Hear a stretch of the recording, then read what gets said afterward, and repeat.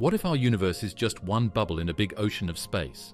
What if there are a million more popping up all the time?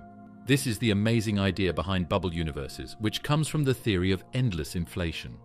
It changes how we think about what might be out there beyond what we can see in the universe. It would mean that our universe is not the only one out there, and that the huge reality we experience is just a small part of a multiverse that is so much bigger than we can imagine. First, let's talk about cosmic inflation, which was a very short but very explosive event that happened a very small part of a second after the Big Bang. The idea of inflation says that space didn't just get bigger, it grew bigger faster than the speed of light. This smoothed out any bumps in the spacetime and explains why the universe looks so uniform now.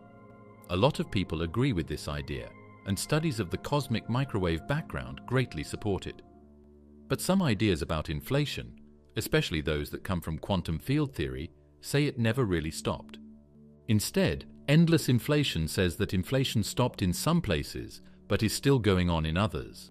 These quieter areas where inflation stops make bubble universes, which are separate areas of space where the fast expansion slows down and makes room for galaxies, matter, and life. It's like a bubble around us. But there could be a huge number more.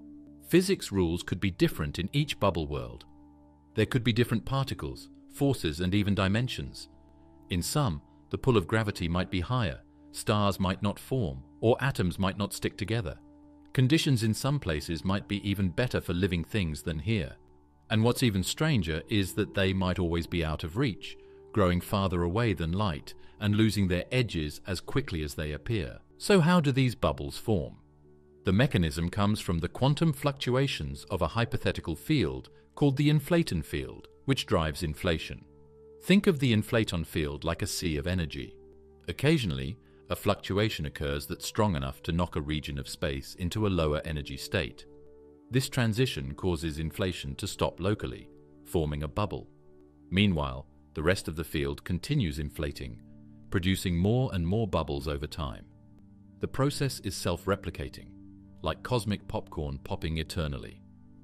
This gives rise to the multiverse, not in the science fiction sense of parallel timelines, but in the physical sense of a landscape of bubble universes, each with its own version of reality.